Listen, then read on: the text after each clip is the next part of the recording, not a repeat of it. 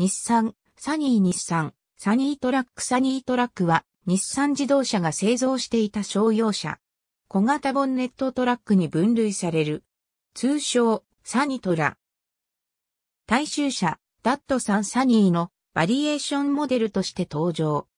当初はダットサンブランドで販売されていたが、1985年より日産ブランドに変更、統合された。日産自動車での小型自動車のブランドであるダットサンの形式は10の位の数字が乗用、1、商用、2と規定されていたため、ピックアップトラックはサニーのコードである B を監視 B20 となった。当時の軽積載トラックに共通のキャブとベッドが分かれていないワンピースボディとなっている。そのため外観はスタイリッシュなものとなり、趣味の対象として後年多くの支持を得た。2代目の B120 型以降、大幅なモデルチェンジもなく、トヨタ自動車のパブリカピックアップとともに生産が続けられた。1980年代以降、そのノスタルジックなスタイルと侮れない動力性能、低廉な維持費などが車好きの注目を集めるようになる。FR という駆動方式を採用していることや、オフの割には高回転域までストレスなく吹き上がる A 型エンジンが搭載されていることから、チューニングカーのベースとして高い人気がある。TS レースに参戦していた B110 サニーと機構の大部分を共有しているため、チューニングパーツや流用のキックパーツも豊富であり、チューニングののノウハウも広く知られていることも人気の要因の一つである。一方で、クラシカルなスタイルを活かし、キャルルックや板車や VIP カーなどのスタイルのドレスアップも人気がある。2代目 B120 型はグループ A の規定サイズ以上の鉱石を設置していることという規定を満たせず、1983年からのレース車両カテゴリ規定におけるグループ B に該当する車両であり、そのホモロゲーションを受けていた。1980年代のアフリカで開催されたラリーでは実際にアウディクアトロやランチアラリー037などに伍してモディファイされたサニートラック 1200GB120 型2代目サニートラックロング前期型1971年2月 B120 型を発表。ベースはサニー B110 型。初期型はフロントグリルがサニーセダン及びバンと共通のステンレス製の3ピース構成である。変速機は3速コラム M、T と4速フロア M、T でグレードはスタンダードとデラックス。インパネのコンビネーションメーターは長方形である。1972年1月にセダンがマイナーチェンジ後もトラックのフロントグリルは変更されなかった。1972年南アフリカでの販売を開始。1973年4月、ロングボデー車追加。グレードはデラックスのみ。同年5月常用の B110 型が3年4ヶ月で生産終了 B210 型に移行する。1976年1月昭和50年排出ガス規制により、形式が HB120 型となる。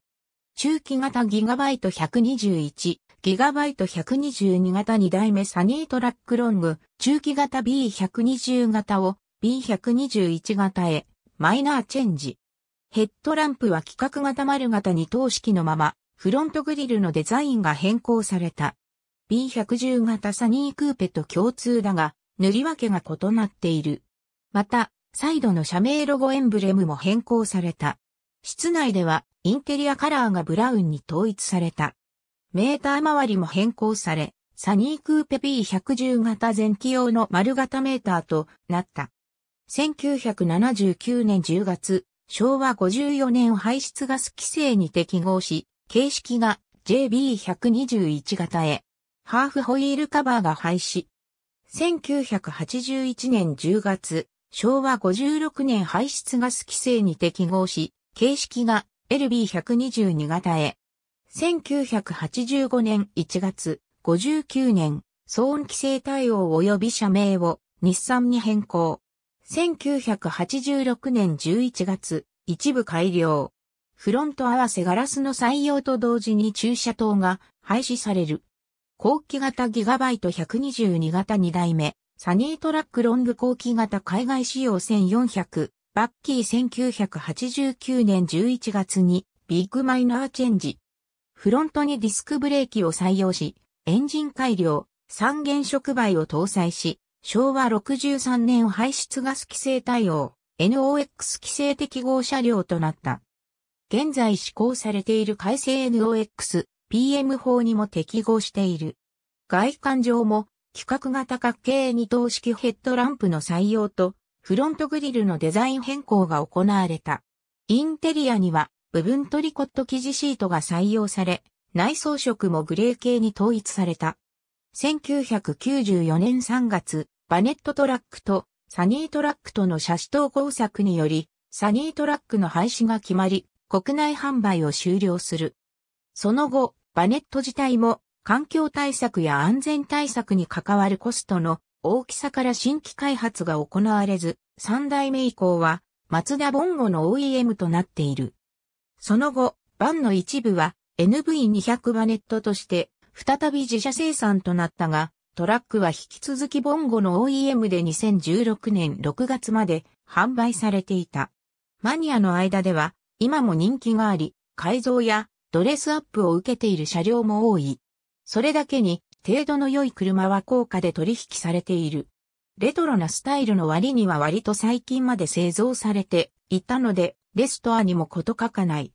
南アフリカ共和国では1400バッケーという名称で2008年7月まで生産が継続されたが、この車の形式も B120 型のままであった。そして同年の9月29日、後継者の NP200 が発売される。なお、1400は在庫終了まで NP200 と併売されていた。ありがとうございます。